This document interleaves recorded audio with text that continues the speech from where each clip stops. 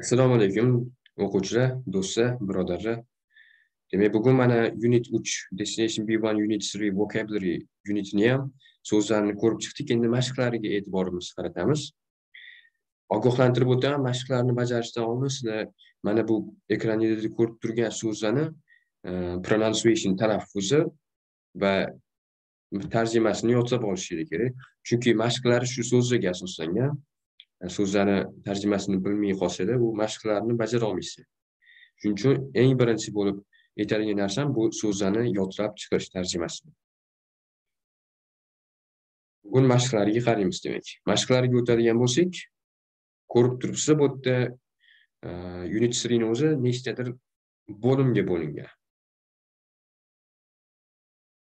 Ya'ni bu bo'limlardan birinchisi bu topic vocabulary. Topic vocabularyni o'zida o'n kira uch o'ttizta so'z bor edi keyin phrasal verbs pastroqda prepositional phrases. Ana undan keyin yana pastroqda bizada word formation. Word patterns. Degan qismlari bor shu bilan bir ikki. Uch to'rt beshta qism bor ekan. Mashqlari ham shu beshta qismga bo'lingan mashqlardan iborat. Mashqlarga o'tadigan bo'lsak mana birinchi mashqimiz bu topic vocabularyga asoslangan. Topic vocabulary. Ya'ni boyagi o'ttiztalik so'zdan iborat e, tablitsa. Inglizchasiga table deydi o'zbekchasiga jadval. Shu jadvaldan olingan so'zlar bo'ladi. Bunda faqat so'raladigan so'zlar faqat o'sha topic vocabulary jadvalidan olinadi. Boshqa phrasal verbs prepositional phrases word formation word patterns bunaqa bo'limlaridan olinmaydi. Bu faqat o'sha o'ttizta so'zdan olinadigan mashqlar. A mashqimiz shundan iborat. B mashqimiz ham xuddi shunaqa. Topic vocabulary ostida birlashgan.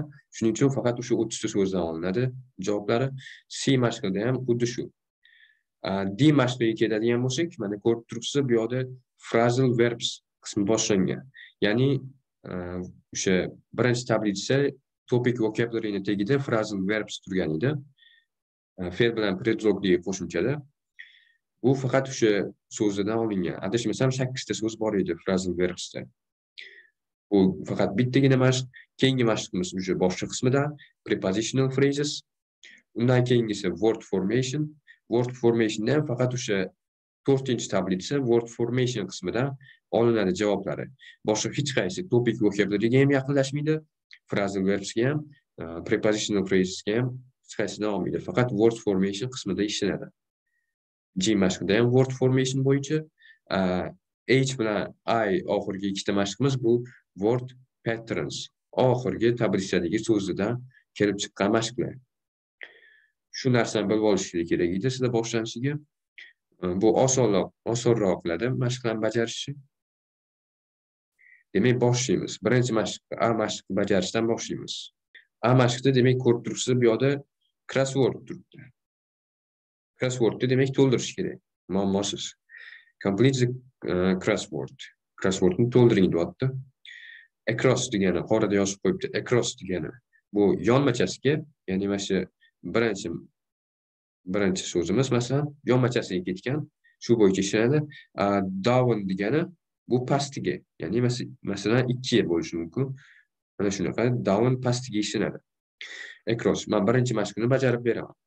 Birinchisi demak across deyapti mana bu ekan demak mana shu kattalarni to'ldirishimiz kerak birinchisida unda tarjima kerak bo'ladi shuning uchun lug'at bilan bemalol ishlasangiz bo'ladi ham yodda tutinglar bu faqat topic vocabulary qismidan shuning uchun birinchi tablichadagi o'ttizta so'zdan olinadi if he wins this match he will be the world ram pam pam pam pam pam nimadir siz bu yoqqa so'z qo'yishingiz kerak mana bu qo'sh ichidagi sakkiz nimani anglatadi? Bu sakkizinchi savol emasmi deyishingiz mumkin. Yo'q bu sakkizinchi savol emas. Bu birinchi savol. Bu sakkizni ma'nosi sakkizta harfdan iborat bo'lishi kerak. Sakkizta harf. Man yoshligimda bitta mana shu destination bivanni o'zim sizlardaligimda ishlayotganimda e, bitta usulni tutganman bu mashqqa yetish uchun. Sakkizta harfdan iborat ekan. Demak bu judayam oson. Man tutgan usul bu birinchi tablitsaga chiqib sakkizta harfdan iborat so'zni qidirish edi. Sal erinchoqroq bo'lganman lekin ish bergan bu narsa. Sakkizta so'zdan iborat so'zni qidirganman. Qidirib qidirib chiqsam champion so'zi to'g'ri tushgan. Champion. Sanab chiqsangda mana e, c h a m p i o n. Sakkizta harf. Shu usulda to'ldirishga harakat qilganman. Lekin bu unchalik to'g'ri usul emas lekin qandaydir darajada yordam beradi. Bu yoqqa champion deb yozsanglar to'g'ri bo'ladi. Champion.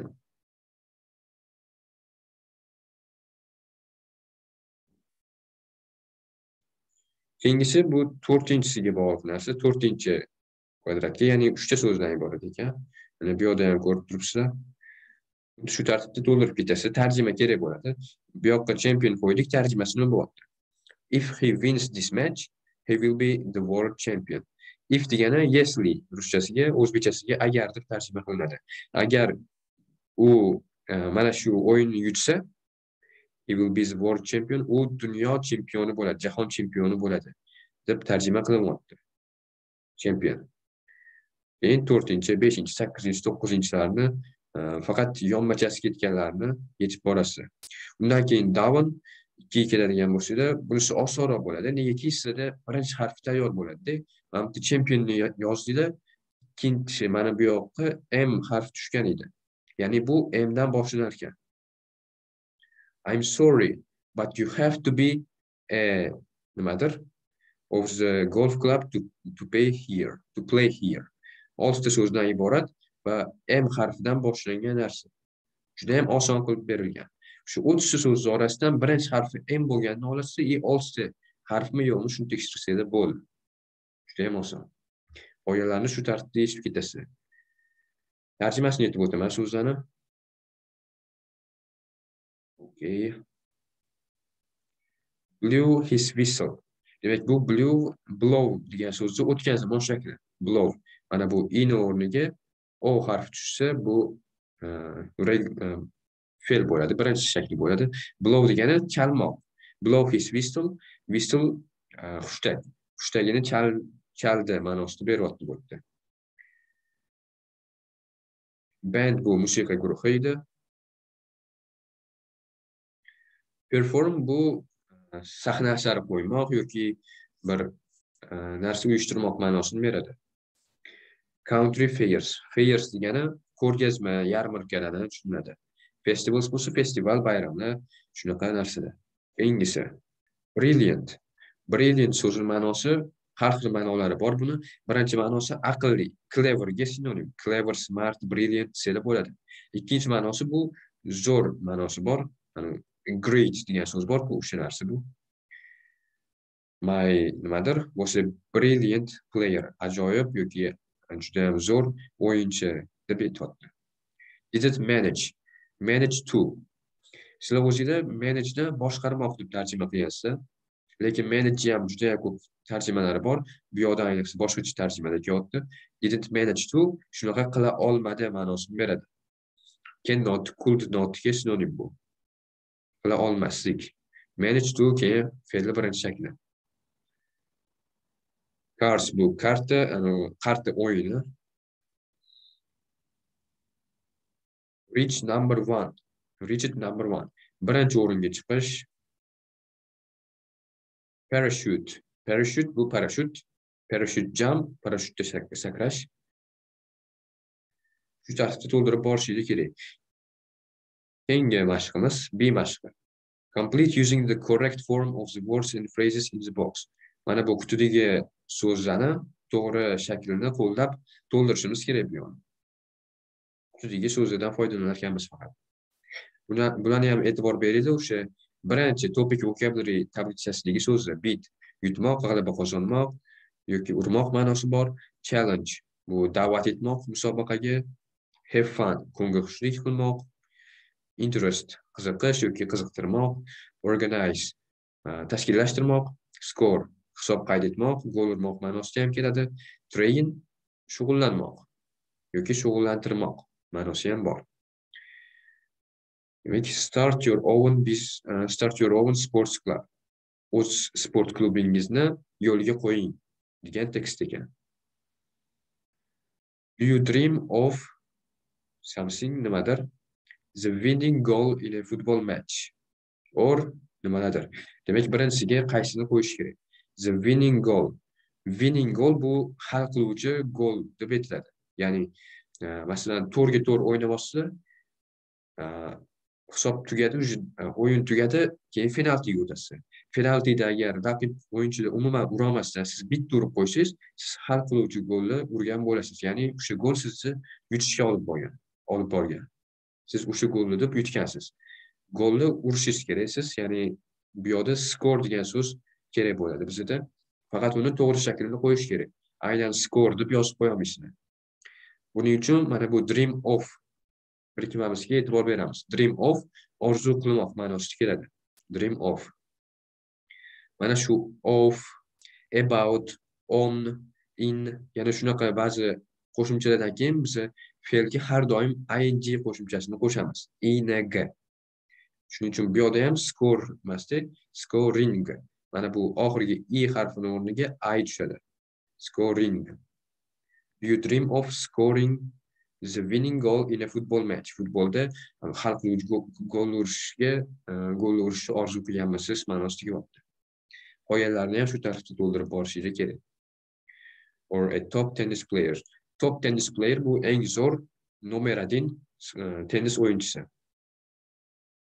Young people young young degani yosh degani young people yosh yoshlar ma'nosini beradi. Stay healthy bu e, sog'lom holatda qolish semirib ham ketish emas yoki ozib ham ketish emas sog'lom sportivniy holatda qolish. At the same time bir vaqtni o'zida. At the same time bir vaqtda. Local council bu mahalliy hukumat. Har bitta masalan tumanlarni o'zini hokimiyati bo'ladi. O'sha shunaqa narsa. Mahalliy hukumat. Desayt qaror qabul qilmoq qaror qilmoq. Ovun degani o'zining ma'nosini beradi. Masalan your oven sports club deyapti sizning o'zingizni o'zingizni sport klubingizni yo'lga qo'yish.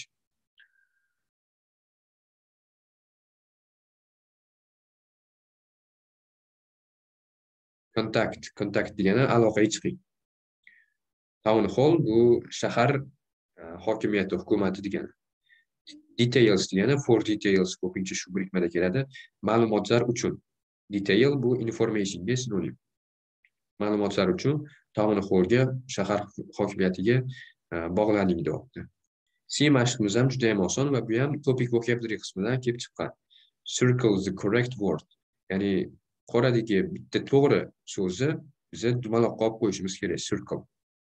I really like playing board yoki video games like Monopoly and Cluedo. Cluedo. Shunaqa o'yinlarimiz bor ekan. Monopoly o'yini bu e, so'zdan tarjimasini aytib o'tayotganimda ham aytgan edim. E, taxt ichida o'ynaladigan o'yin. Shuning uchun bu yerda videoga ham to'g'ri kelmaydi. Bu video o'yin emas. Kompyuterda o'ynamaysiz, Bu taxt ichida o'ynaysiz. Shuning uchun bu yerda board game bo'ladi. Boardni dumaloq olib qo'yasiz. I really like playing board games like Monopoly and, Clue, uh, and Cluedo. Like degani masalan misol berish uchun ishlatiladi. Qolganlarni ham shu tartibda bajarishingiz kerak.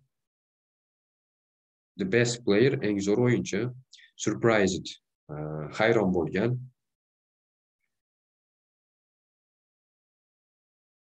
Lots of degani a lot of sinonim, juda ham ko'p ma'nosini beradi. Armchair bu e, kreslo. Sout sink so'zini o'tgan zamon shakli o'ylamoq. Support bu e, qo'llab quvvatlamoq masalan bitta komandani e, muxlislik qilmoq ma'nosini ham beradi. Masalan man real madridga muxlislik qilaman. Shunaqa narsa. The same bir xil the same bir xil degan ma'noni beradi. Prefer bu afzal ko'rmoq prefer. Shu tartibda bajarishingiz kerak qolgan i mashqiga keladigan bo'lsak buni endi phrasal verbs ikkinchi tablitsada olingan so'zidan foydalanasizlar choose the uh, correct answer to'g'ri javobni belgilashingiz kerak. Test ekan bu variantli. Demak ketdik. Birinchisi you should take nimadir? A sport and then you will get more exercises. Boyagi tablitsaga qaraysiz phrasal verbs tablitsasiga take bilan kelgan deb so'zni birikmani qidirasiz take bilan qaysi predlog kelgan bizda take off bo'lishi mumkin take up yoki take down bo'lishi mumkin u tablitsada o'zi sakkiztagina so'z berilgan o'sha sakkiztadan faqat bittasi to'g'ri keladi take bilan kelgan ya'ni take up degan so'z kelgan take up take up bu qanaqadir odatda boshlamoq shuning uchun bu yerda take up bo'ladi Э, tanlaganimizga ahamiyat beradi take off degan e, fraza yo'q edi u tablitsada take down degani ham yo'q edi. Shuning uchun faqatgina shuni belgiladik. Shunisi to'g'ri keladi faqat. You should take up a sport ya'ni bitta sportni boshlashing kerak deyapti. And then you will get more exercises. Va shundan keyin then shundan keyin ko'proq mashq qilarding ma'nosida kelyapti. Qolganlarni ham xuddi shu tartibda qidirishinglar kerak. I'm trying to work buyruq jahli chiqib ketayotgan bo'lishi mumkin.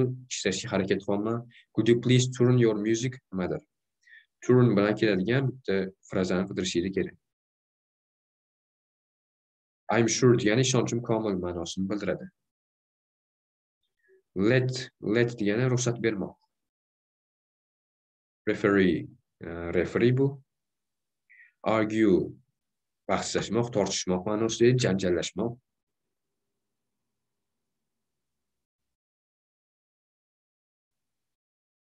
Can't afford we can't afford afford ma'nosi bu qurbi yetmaslik ma'nosini beradi. I can't afford desam shunga qurbim yetmaydi. Masalan i can't afford to buy uh, a house.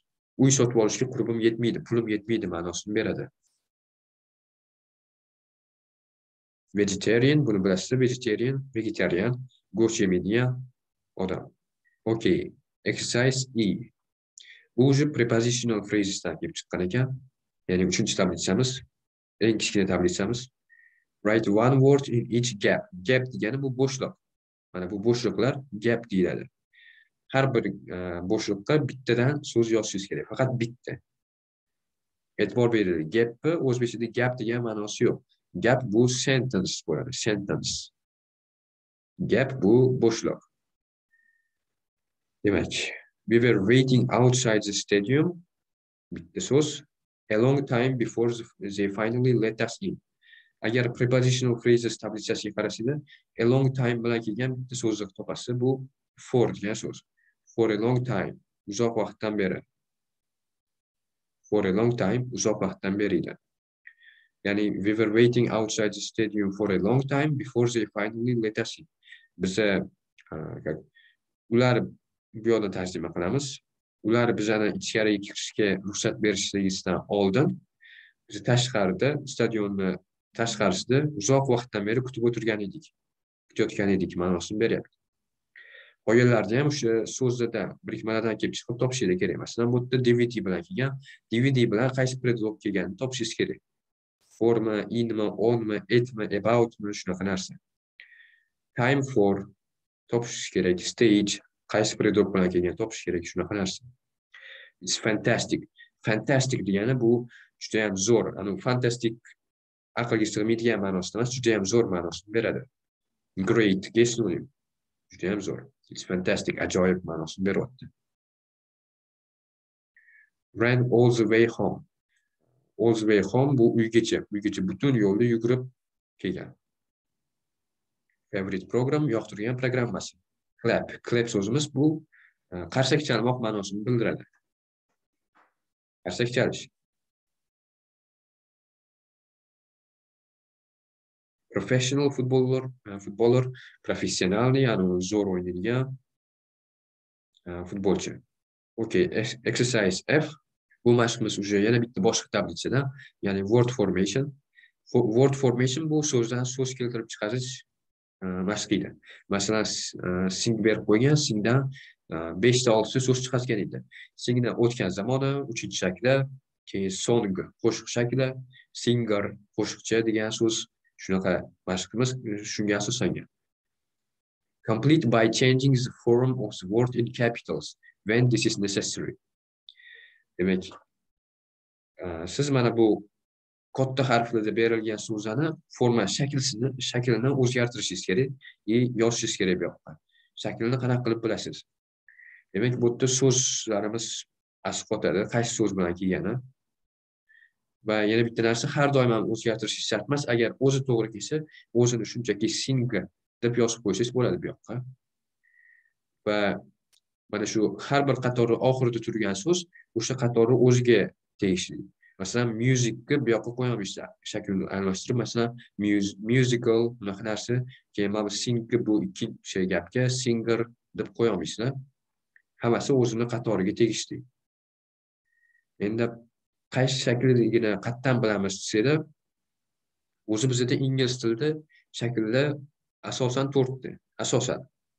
Bu ot shaklimiz bor. Ingliz tilida noun deyiladi.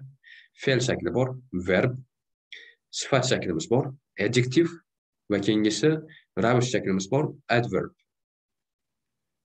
Noun degani masalan personni olaylik nuqta deb person. Agar siz nuqtadan keyin person ya'ni ot turgan bo'lsa siz e, nuqtadan o'rniga nima narsa qo'yishingiz kerak? Bunaqa holatda siz e, sifat qo'yishingiz kerak. Ya'ni o'sha odam personni tasvirlab keladigan sifat. Masalan beautiful person bo'lishi mumkin. Chiroyli odam desak. Beautiful person bu chiroyli odam. Yoki qanaqadir yana sifat. Yaxshi odam yomon odam shunaqa narsa nuqtalar o'rniga. Agar xuddi shu holatda sizga sifat berilgan bo'lsa bitta masalan good good sifat masalan. Keyin nuqta nuqta berilgan bo'lsa siz nuqtadan o'rniga endi bu safar ot qo'yishingiz kerak. Shu sifat nimani tasvirlab kelayotganini bildirishingiz kerak. Masalan good person good computer good uh, student yaxshi o'quvchi. Shunaqa narsa. Fe'l berilgan bo'lsachi verb e, masalan run. Run bu e, yugurmoq yoki do. Do homework deylik do homework. Uy ishini qilish. Buni holatda nima beramiz?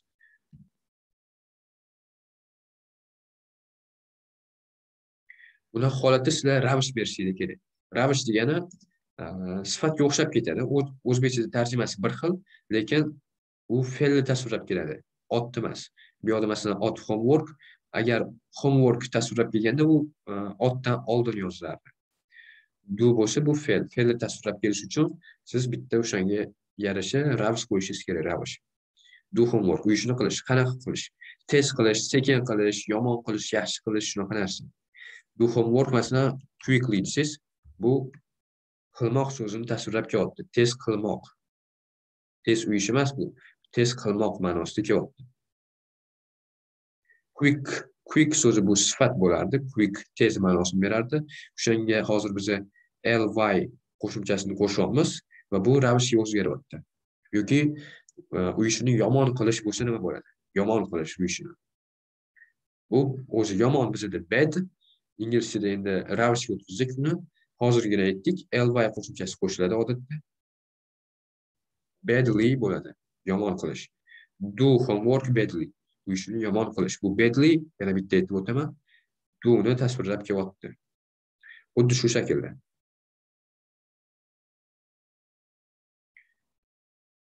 Xuddi shu shaklda to'ldirib borishingiz kerak demak birinchisini qilib beraman.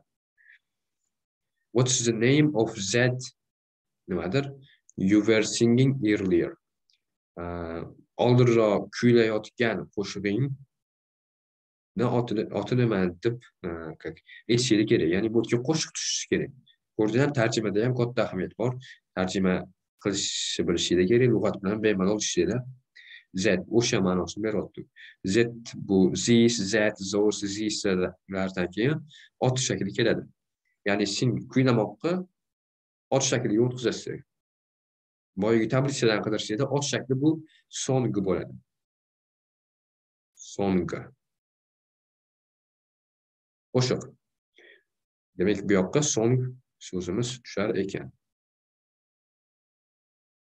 Shunaqa tartibda to'ldirib borasiz demak music musicni bitta shaklini tanlaysiz o'zi uchtagina so'z bergan tablisada birinchisi music ikkinchisi musical sifat shakli uchinchisi musician musiqachi ot shakli bu yoqda nima tushadi demak e, nuqtadan keyin talent ya'ni talant degan so'z turibdi bu nima sizlarni nazaringizda ravishmi sifatmi otmi yoki fe'lmi talant bu talant ot.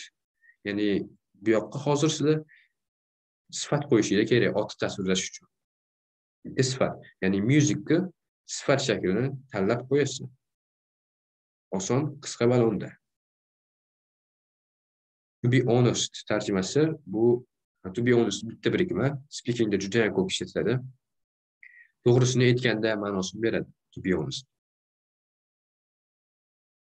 Used toni bilasizlar ikkinchi unitda o'tgan edik. Biron bir oldin bajargan ish harakatingiz doimiy bajargansiz lekin hozir уже bajarmaysiz. Shunaqa narsa. Fit degani bu sportivniy formada э, sog'lom shunaqa narsani bildiradi. Sog'lom va baquvvat. Local mahalliy. Enjoy bu rohatlanmoq. Wonderful degani э, fantastic brilliant so'zlarga great so'zlarga sinonim ajoyib ma'nosini beradi. Boy o'yinchoq townni bilsanglar kerak shahar go out. Sayohatga chiqish dam olish ma'nosini bildiradi. Boat bu qayiq. Practice mashq qilmoq.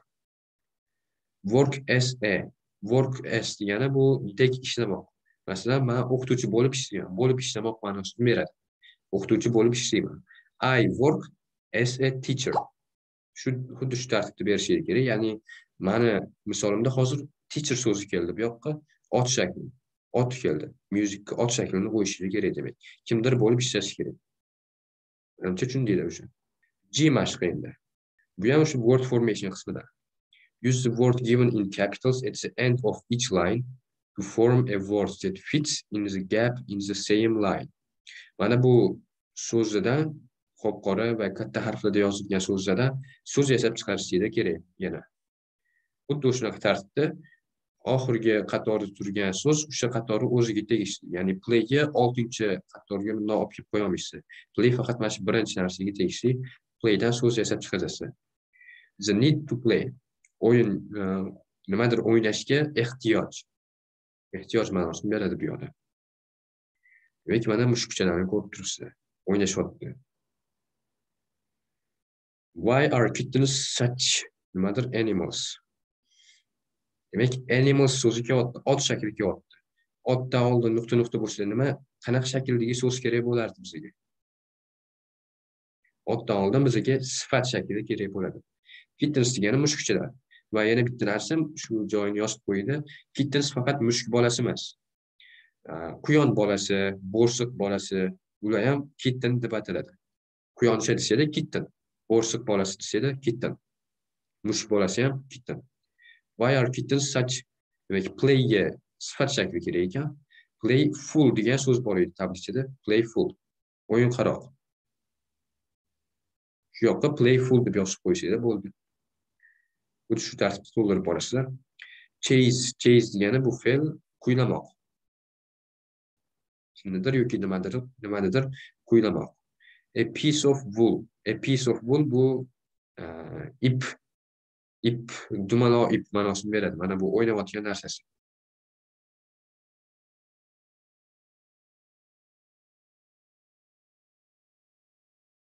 Important muhim for the future kelajak uchun. Important for the future kelajak uchun muhim. May uh, might degani mumkin degan ma'nosi bor. Look like dek ko'rinmoq. Qanaqadir ko'rinmoq. Ajoyib ko'rinishi mumkin. Hunting hunting ov qilish hunting skills bo'lsa skill o'zi qobiliyat ma'nosini beradi ov qilish qobiliyatlari jump sakrash yoki sakramoq A lot bu ko'p ma'nosini beradi. Through degani orqali, through orqali, o'yin orqali. Exercise H word patterns oxirgi tablitsaga asoslangan ekan demak. Write one word in each gap. Har bitta demak gapni ma'nosi nima edi? Boya aytib o'tdim, gap bo'shliq. Mana bu bo'shliqlarimiz. Har bir bo'shliqda bittadan, faqat bittadan so'z yozishingiz kerak. Demak, bu yerda dialog ketayotgan ekan. Diana bilan Jenny gaplashishyapti. Hello, is it Jenny? Bu Jennymi? I'm bored nimadir nimadir watching tv and i felt nimadir a chat what are you doing? Nima qilyapsan? Demak sizda sizda tablitsadan bored degan so'zni qidirasizlar bored birinchi so'z edi adashmasam. Bored bilan qaysi so'z yoki predlog kelgan? Tablitsada bored with degan so'z kelgan edi. With bilan so'zi. Bored with i'm bored with watching tv ya'ni televizor ko'rib televizor ko'rishdan zerikib ketdim. Ma'nosini beradi. Bo'ldi. Bitta so'z kerak edi with qo'yasiz shu yoqqa bo'ldi xuddi shu tartibda e, bajarib borishingiz kerak. Yonidagi so'zdan kelib chiqasiz. Felt feel degan so'zni o'tgan zamon shaklida feel bilan qaysi so'z kelgan? Osongina mana bu yoqda book. Book bilan kelgan birikmani qidirasiz. Book bilan keyin ikkita birikma kelgan. Shunga ham e'tibor beringlar. A book by somebody about something degan narsa bor edi. A book by somebody bu kimdir tomonidan yozilgan kitob. A book about something u nimadir haqida yozilgan kitob ma'nosini beradi. Bu yoqqa yoki by yoki about bu yoqqa ham about yoki byni qo'yishingiz kerak bitta mosini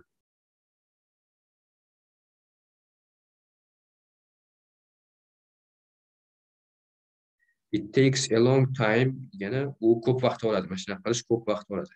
It takes a long time to get good nimadir. The public the public ma'nosi omma. Aholi ma'nosini beradi oddiy odamlar. Understand tushunmoq. Understand people odamlarni tushunish. That sounds just like me. Uh, sound just like me degani manga mani xohishimga manga kerak bo'lgan narsa ekan degan ma'noni bildiradi. Tell me more manga ko'proq ayt shunaqa ma'noda. Va nihoyat oxirgi mashqqa keldik. I exercise i. each of the words in bold in bold bu qop qorada yozilgan bold turib yozilgan so'z edi. Each of the words in bold is wrong. Qorada yozilgan so'zi bu xato ekan. Write the word uh, write the correct word. Shularni o'rniga to'g'ri so'zni yozishinglar kerak. Demak with xato yozishinglar kerak. I'm completely crazy. Nimadir? Skateboarding. I love it. Crazy bilan keladigan bitta fraza bor edi. Bu crazy about edi. Crazy about nimanidir jinnisi yoki muxlisi bo'lish nimadir jinnisi bo'lish bu judayam yoqtirish ma'nosini bildiradi masalan man futbolni judayam sevaman desam futbolni jinnisiman desam bo'ladi yoki ukam kompyuter o'ynashni konturni jinnisi shunaqa ma'noda completely degani to'la to'laqonli demak bu yerda about so'zi keladi with olib tashlab about mana bu yoqqa about deb yozib qo'yishadi bo'ldi I'm completely crazy about skateboarding. Skateboarding bu uh, skate uh, o'zbekcha so'zi esimga kelmay qoldi. Lekin skateboardingga telegram kanalimizga tashlab qo'yaman. Tarjimasi bilan uh, rasmini bemalol tashrif buyurib ko'rishinglar bo'ladi. Telegram kanalimiz linki pastda yozib qoldiramiz. In my free time bo'sh vaqtimda free time. In my free time bo'sh vaqtimda ma'nosini bildiradi. Listim bilan o'n e, predlogga kelmaydi listim bilan keladigan predlogni qidirib topasiz tablitsadan oxirgi tablitsa kin bilan keladigan birikmani topishingiz kerak predlogga. Hungary bu davlatni nomi. Ili bu ism. Scared qo'rqqan. Qo'rqmoq nimadandir kimdandir. Singing competition competition musobaqa singing competition competition bu qo'shiq kuylash musobaqasi. Okey do'stlar demak e, bu darsimizni oxiri edi. Agar savolingiz bo'lsa bemalol kommentada yozib qoldiringlar. E, Telegram kanalimizga o'tib rasmlarni ko'rishni unutmanglar и yana bitta yaxshi yangilik. Telegram kanalimizda har bitta mana shu destination e, unitlariga asoslangan testlar ham qo'yib boryapmiz video darslaridan keyin bemalol e, guruhga o'tib kanalga o'tib ishlab borsanglar bo'ladi. Bu biliminglarni yanayam mustahkamlashga yordam beradi. Rahmat sizlarga. Agar bu darsimiz yoqqan bo'lsa manimcha yoqqan e, layk bosib obuna bo'lib qo'yishni unutmanglar и do'stlaringlar bilan ulashinglar bu videoni. Ko'pchilik e, destination vocabulary unitlarini qanaqa yechishni bilmaydi. Sog' bo'linglar.